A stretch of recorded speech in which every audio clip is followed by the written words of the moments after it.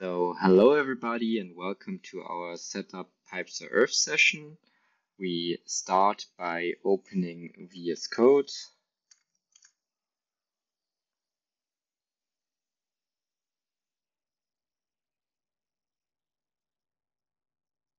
As VS Code opens, um, we want to enable our connection to WSL as you use WSL. If not, uh, that's not the case for you. So we have to wait until the Linux distribution gets started.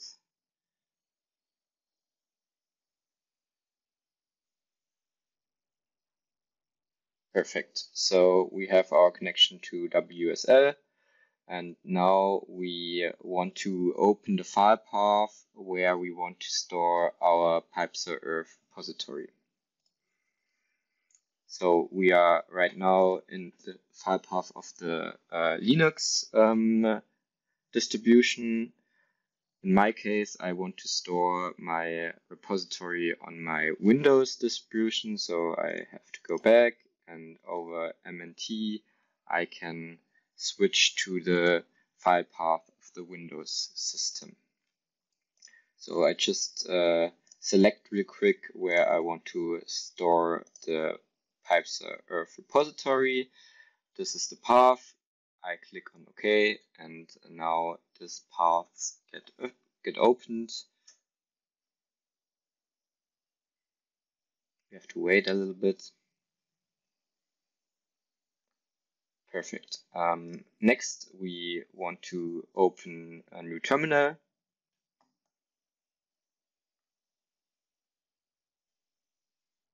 Perfect. And uh, it's very important that the path of this terminal is the path where you want to store your pipes earth repository.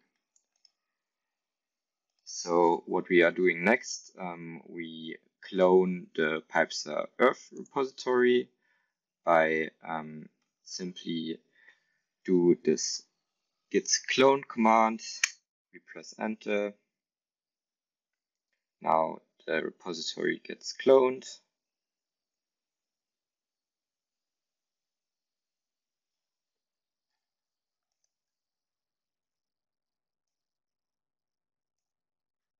And after cloning the repo, we create our conda environment.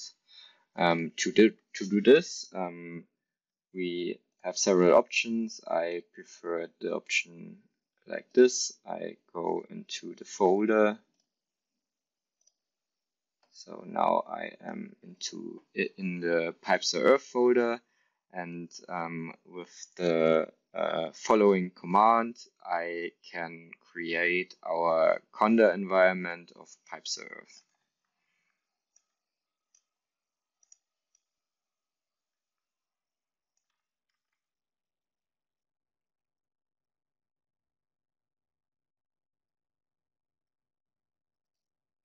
Yeah, as I can, as you can see, I already have uh, the Earth environment, but um, yeah, this would be the command um, after uh, the after we um, press enter. This can take a little while, and afterwards, um, yeah, we can use the environment by typing conda activate pipester earth. In my case, I'm already in the uh, PyPSA-Earth environment. But if I want to go back into the base environment, this would be it. Yes. Um, anyway, we want to stay in the pipes PyPSA-Earth environment. And after cloning the repository and um, installing the um, environment, we want to install the solver. As we have academic access, um, uh, we are using the Gurobi solver. if you don't have academic access, um, uh, you can also use the HiGHS solver. So what we gonna do is um, register at uh, the Gurobi portal and then um, under licenses request we take a named user academic license, we generate it, um, clicking that we are agreeing the terms of the end user license agreement and confirm our request. Then the license is going to be generated and we have our key here. So what we are go going to do is to copy this key and simply um, paste it into our um, in our terminal, press enter, and then um, with this key and the PyPSA-Earth environment created, we have successfully installed Gurobi. After installing Gurobi, we can continue with the IPython kernel installation. And uh, additionally, we are testing if Jupyter Lab works. So what we are going to do is simply paste this into the terminal and press enter.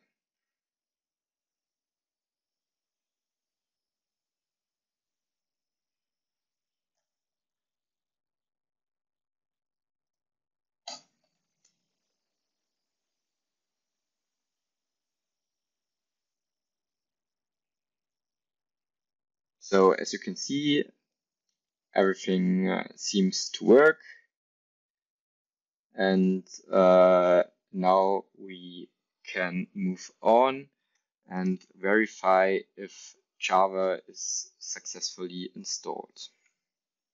To do this, um, either um, uh, open a new terminal or simply just um, shut down the Jupyter server with Control C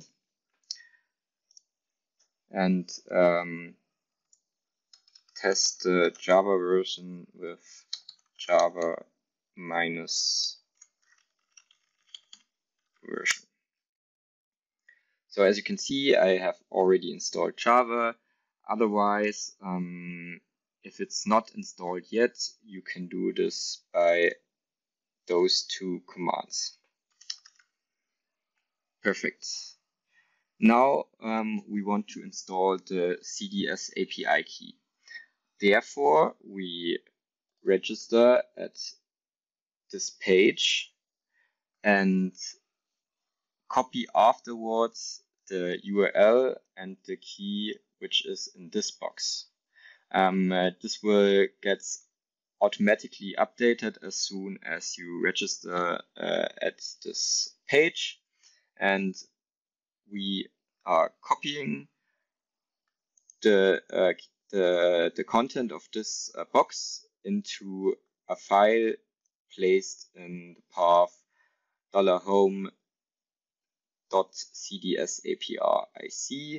Um, uh, just to show it to you, um, we can do this by um, typing uh, backslash backslash wsl dollar in our Explorer and simply press enter, go Ubuntu, home, the username, and there we go. There is uh, my file. If there isn't a file yet, simply um, create it with the editor and name it .cdsapirc afterwards. Um, you can open it with the um, editor and just simply um, yeah paste the content of the black box into it and then um, yeah CDS API is installed. Now to make our first uh, modulation, we copy the config default and simply paste it once again and rename it to config.yaml. And afterwards, um, uh, we open the config and now we can do our settings to um, yeah adjust it for your needs. Um, uh, for example, you can adjust uh, the countries to the country or any region of your choice. Um, of course, we can as well adjust any other config setting as well. I will give you a link to the docs where every config setting is explained and to start the, um, the, the model now, we uh, can do this by um, yeah, we, we have to check if uh, the, the environment is activated. So in my case, um, I don't have to um, do conda activate PyPSA-Earth once again, as it's already activated. And um, afterwards, we can test uh, our model run with the following uh, command. Um, it's a dry run as there is um, minus n at the end. So if I press enter, um, as it's a dry run, nothing happens, but we get a summary um, of all jobs which have to be done.